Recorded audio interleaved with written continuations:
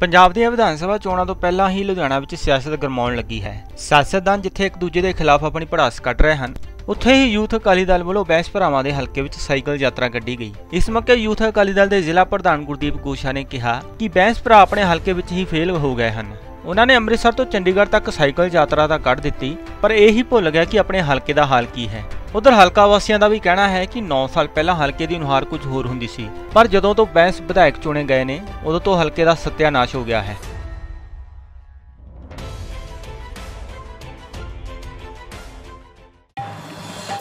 ਇਹਦਾ ਜਿਹੜੇ ਸੱਜਣ ਠੱਗ ਅਸੀਂ ਬਾਰ-ਬਾਰ ਕਹਿੰਦੇ ਆ, ਬਲਵਿੰਦਰ ਬੈਂਸ ਤੇ ਸਿਮਰਜੀਤ ਸਿੰਘ ਬੈਂਸ, ਜਿਹੜੇ ਪੰਜਾਬ ਯਾਤਰਾ ਜਿਹੜੇ ਸਾਈਕਲ ਕੱਢ ਕੇ ਜਿਹੜੀਆਂ ਵੱਡੀਆਂ ਵੱਡੀਆਂ ਦਾਅਵੇ ਕਰਦੇ ਆ, ਉਹਨਾਂ ਦੇ ਹਲਕੇ ਦਾ ਹਾਲ ਦਿਖਾਣ ਲੱਗਾ, ਜਿਨ੍ਹਾਂ ਦੇ ਹਲਕਿਆਂ ਦੇ ਵਿੱਚ ਸੜਕਾਂ ਟੁੱਟੀਆਂ ਪਈਆਂ, ਬੁਰਾ ਹਾਲ ਹੈ। ਕੋਈ ਪਾਰਕਾਂ ਨਹੀਂ, ਕੋਈ ਸਿਹਤ ਹਸਪਤਾਲ ਨਹੀਂ, ਕੋਈ ਸਰਕਾਰੀ ਹਸਪਤਾਲ ਨਹੀਂ, ਕੋਈ ਸਕੂਲਾਂ ਬਾਰੇ ਗੱਲ ਨਹੀਂ ਕੀਤੀ, ਕੋਈ ਕਾਲਜਾਂ ਬਾਰੇ ਗੱਲ ਨਹੀਂ ਕੀਤੀ। ਪਰ ਵੱਡੇ ਵੱਡੇ ਦਾਅਵੇ ਕਰਕੇ ਆਪਣੇ ਆਪ ਨੂੰ ਵੱਡਾ ਕਰਨ ਦੀ ਕੋਸ਼ਿਸ਼ ਕੀਤੀ ਹੈ ਤੇ ਮੈਂ ਹੈਰਾਨ ਹੁੰਨਾ, ਅੱਜ ਦੂਜੀ ਟਰਮ ਹੋ ਗਈ ਉਹਨਾਂ ਦੀ। 9 ਸਾਲ ਦੇ ਕਰੀਬ ਹੋਣ ਲੱਗੇ ਆ ਤੇ ਹਲਕਾ ਪਰੇਸ਼ਾਨ ਹੈ, ਲੋਕ ਹਲਕੇ ਦੇ ਪਰੇਸ਼ਾਨ ਹੈ ਤੇ ਕੋਵਿਡ ਦੇ ਵਿੱਚ ਇਹ ਨਿਕਲਿਆ ਨਹੀਂ ਬੰਦਾ। ਪਤਾ ਨਹੀਂ ਕਿਹੜੀ ਖੁੱਡ 'ਚ ਛੁਪਿਆ ਰਿਹਾ ਤੇ ਅੱਜ ਅਸੀਂ ਉਹਦਾ ਹਲਕੇ ਦਾ ਹਾਲ ਦਿਖਾਇਆ ਤੇ ਦੇਖੋ ਤੁਸੀਂ, ਜਿਹੜਾ ਬੰਦਾ ਜਿਹਨੂੰ ਹਲਕੇ ਦੇ ਵਿੱਚ ਵਿਚਰਨਾ ਚਾਹੀਦਾ ਸੀ, ਹਲਕੇ ਦੇ ਲੋਕਾਂ ਦੀ ਗੱਲ ਕਰਨੀ ਚਾਹੀਦੀ ਸੀ ਤੇ ਉਹ ਪੰਜਾਬ ਦੀ ਯਾਤਰਾ ਕਿੱਥੋਂ, ਅੰਮ੍ਰਿਤਸਰ ਸਾਹਿਬ ਦੀ ਧਰਤੀ ਤੋਂ ਖਤਮ ਕਿੱਥੇ ਕੀਤੀ? ਚੰਡੀਗੜ੍ਹ। ਉਹਦੇ ਟਾਇਰ ਦੀ ਹਵਾ ਵੀ ਨਹੀਂ ਨਿਕਲੀ ਸੀ। ਆ ਤੁਸੀਂ ਸਾਈਕਲਾਂ ਦਾ ਹਾਲ ਦੇਖ ਲਿਓ, ਕੀ ਹੁੰਦਾ? ਕਿਉਂਕਿ ਹਾਲਾਤ ਸੜਕਾਂ ਦੇ ਇਹੋ ਜਿਹੇ ਆ, ਜਿੱਥੇ ਗਰੀਬ ਬੰਦਾ, ਤੁਸੀਂ ਦੇਖੋ ਜਿਹੜਾ ਇੱਕ ਗਰੀਬ ਬੰਦਾ, ਕਿਉਂਕਿ ਇਹ ਇਲਾਕਾ ਸਭ ਤੋਂ ਵੱਡਾ ਇਲਾਕਾ, ਜਿੱਥੇ ਸਾਈਕਲਾਂ ਸਭ ਤੋਂ ਵੱਧ ਚੱਲਦੀਆਂ। ਇਸ ਇਲਾਕੇ 'ਚ ਤੁਸੀਂ ਦੇਖੋਗੇ, ਰੋਜ਼ ਕੋਈ ਟਿਊਬਾਂ ਪਾਟਦੀਆਂ, ਕੋਈ ਚੱਕਾ ਟੁੱਟਦਾ, ਕੋਈ ਸਾਈਕਲ ਖਰਾਬ ਹੁੰਦੀ ਆ, ਕੋਈ ਮੋਟਰਸਾਈਕਲ ਖਰਾਬ ਹੁੰਦਾ, ਕੋਈ ਗੱਡੀ ਪੈਂਚਰ ਹੁੰਦੀ ਆ। ਪਰ ਇਹ ਲੋਕ ਵੱਡੇ ਵੱਡੇ ਦਾਅਵਿਆਂ ਕਰਕੇ ਵੱਡੀਆਂ ਵੱਡੀਆਂ ਕੋਠੀਆਂ 'ਚ ਰਹਿੰਦੇ, ਪਰ ਗਰੀਬ ਬੰਦੇ ਦੀ ਸਾਰ ਨਹੀਂ ਲੈ ਰਹੇ। ਤੇ ਹੁਣ ਅਸੀਂ ਯਾਦ ਕਰਾਵਾਂਗੇ, ਚੇਤੇ ਕਰਾਵਾਂਗੇ, ਅੱਗੇ ਵੀ ਅਸੀਂ ਦੋ ਵਾਰੀ ਕੱਢਿਆ। ਤੇ ਹੁਣ ਚੇਤੇ ਕਰਾਵਾਂਗੇ, ਸੜਕਾਂ ਬਣਵਾ ਕੇ ਰਾਂਗੇ। ਅਸੀਂ ਲੋਕਾਂ ਦੀਆਂ ਕੰਮ ਕਰਵਾ ਕੇ ਰਾਂਗੇ। ਅਸੀਂ ਦਾਅਵੇ ਨਾਲ ਕਹਿੰਦੇ ਆ ਕਿ ਇਹ ਬਣਵਾਣੇ ਪੈਣਗੇ, ਅਸੀਂ ਇਹਨਾਂ ਨੂੰ ਘਰਾਂ ਚੋਂ ਬਾਹਰ ਕੱਢਾਂਗੇ। ਕਾਂਗਰਸ ਸਰਕਾਰ ਨੂੰ ਵੀ ਘੇਰਾਂਗੇ।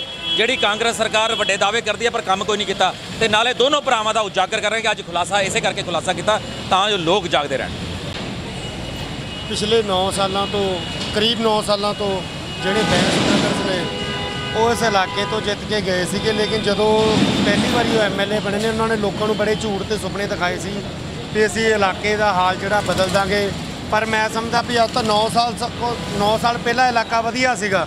ਲੇਕਿਨ ਜਦੋਂ ਦੇ ਇਹ ਐਮਐਲਏ ਬਣੇ ਨੇ, ਤੁਸੀਂ ਦੇਖੋ, ਅੱਜ ਅਸੀਂ ਤੁਹਾਨੂੰ ਦਿਖਾਵਾਂਗੇ ਵੀ ਸੜਕਾਂ ਦਾ ਕੀ ਹਾਲ ਆ। ਕੋਈ ਪਾਰਕ ਨਹੀਂ, ਅਸੀਂ ਵਾਰ-ਵਾਰ ਇਹਨਾਂ ਦੋਵਾਂ ਭਰਾਵਾਂ ਨੂੰ ਇੱਕੋ ਗੱਲ ਕਹਿ ਰਹੇ ਹਾਂ ਵੀ ਪਿਛਲੇ 9 ਸਾਲਾਂ ਦੇ ਵਿੱਚ ਜੇਕਰ ਤੁਸੀਂ ਕੋਈ ਇਲਾਕੇ ਦੇ ਵਿੱਚ ਪ੍ਰੋਜੈਕਟ ਲਿਆਂਦਾ, ਕੋਈ ਪਾਰਕ ਲਿਆਂਦੀ ਹੈ, ਕੋਈ ਸਹੂਲਤ ਲਿਆਂਦੀ ਆ, ਕੋਈ ਸਕੂਲ ਬਣਵਾਏ ਨੇ, ਕੋਈ ਵੀ ਕਿਸੇ ਤਰ੍ਹਾਂ ਦਾ ਕੋਈ ਲੋਕ ਭਲਾਈ ਵਾਲਾ ਕੰਮ ਆ, ਉਹ ਜਿਹੜਾ ਲੋਕਾਂ ਦੇ ਸਾਹਮਣੇ ਲਿਆ ਕੇ ਰੱਖੋ। ਪਰ ਵਾਰ-ਵਾਰ ਜਦੋਂ ਸਾਡੇ ਅਪੀਲ ਕਰਨ ਤੋਂ ਬਾਅਦ ਵੀ ਹੁਣ ਅਸੀਂ ਸੰਘਰਸ਼ ਕਰਨ ਦਾ ਐਲਾਨ ਕੀਤਾ ਵਾ, ਤੇ ਯੂਥ ਅਕਾਲੀ ਦਲ ਤੇ ਹਲਕੇ ਦੇ ਜਿਹੜੇ ਨੌਜਵਾਨ ਨੇ, ਜਿਹੜੇ ਜਿਹੜੇ ਨਾਲ ਨਾਲ ਪੜ੍ਹਾਈ ਵੀ ਕਰਦੇ ਨੇ ਨਾਲ ਨਾਲ ਮਜ਼ਦੂਰੀ ਵੀ ਕਰਦੇ ਨੇ, ਉਹ ਇਲਾਕੇ ਦੇ ਵਿੱਚ ਜਾਣਗੇ। ਇਲਾਕੇ ਦਾ ਹਾਲ ਤੁਹਾਨੂੰ ਦਿਖਾਵਾਂਗੇ ਕਿ ਕਿੰਨਾ ਬੁਰਾ ਹਾਲ ਇਸ ਇਲਾਕੇ ਦਾ ਹੋ ਸਕ ਹੋ ਗਿਆ ਵਾ। ਸੜਕਾਂ ਟੁੱਟੀਆਂ ਪਈਆਂ ਨੇ, ਕਿਸੇ ਕਿਸਮ ਦਾ ਕੋਈ ਪ੍ਰੋਜੈਕਟ ਨਹੀਂ ਹੈਗਾ। ਹੁਣ ਮਹਾਮਾਰੀ ਦਾ ਦੌਰ ਹੈ ਤੇ ਮਹਾਮਾਰੀ ਦੇ ਦੌਰ ਦੇ ਵਿੱਚ ਵੀ ਇਹਨਾਂ ਲੋਕਾਂ ਨੇ, ਜਿੱਥੇ ਲੋਕਾਂ ਤੋਂ ਹਜ਼ਾਰਾਂ ਲੱਖਾਂ ਵੋਟਾਂ ਲਈਆਂ ਨੇ, ਤੇ ਉਹਨਾਂ ਦੇ ਨਾਲ ਵੀ ਧੋਖਾ ਕੀਤਾ ਵਾ। ਇਸ ਕਰਕੇ ਅਸੀਂ ਅੱਜ ਇਹ ਪ੍ਰਣ ਕੀਤਾ ਵਾ ਵੀ ਜਿੰਨਾ ਚਿਰ ਇਹ ਲੋਕ ਆਪਣੇ ਹਲਕੇ ਦਾ ਵਿਕਾਸ ਨਹੀਂ ਕਰਾਉਣਗੇ ਉਹਨਾਂ ਚਿਰ ਅਸੀਂ ਸੰਘਰਸ਼ ਕਰਦੇ ਰਵਾਂਗੇ, ਸਾਡਾ ਸੰਘਰਸ਼ ਜਾਰੀ ਰਹੇਗਾ। ਅੱਜ ਸਾਈਕਲ ਰੈਲੀ ਕੱਢ ਰਹੇ ਹਾਂ, ਫਿਰ ਰਕਸ਼ਾ ਰੈਲੀ ਕੱਢਾਂਗੇ, ਪੈਦਲ ਮਾਰਚ ਕਰਾਂਗੇ, ਭੁੱਖ ਹੜਤਾਲ ਕਰਾਂਗੇ, ਲੋਕਾਂ ਦੇ ਕੋਲ ਜਾਵਾਂਗੇ, ਨੌਜਵਾਨਾਂ ਕੋਲ ਜਾਵਾਂਗੇ। ਹਰ ਇੱਕ ਤਰ੍ਹਾਂ ਦਾ ਸੰਘਰਸ਼ ਕਰਾਂਗੇ, ਪਰ ਇਹਨਾਂ ਨੂੰ ਘਰੇ ਟਿੱਕ ਕੇ ਬੈਠਣ ਨਹੀਂ ਦੇਵਾਂਗੇ। ਜਿੰਨਾ ਚਿਰ ਇਹ ਇਲਾਕੇ ਦਾ ਵਿਕਾਸ ਨਹੀਂ ਕਰਾਉਂਦੇ ਤੇ ਆਪਣੇ ਘਰਾਂ ਦੇ ਵਿੱਚੋਂ ਨਹੀਂ ਨਿਕਲਦੇ, ਆਪਣੀਆਂ ਕੋਠੀਆਂ ਦੇ ਵਿੱਚੋਂ ਨਹੀਂ ਨਿਕਲਦੇ।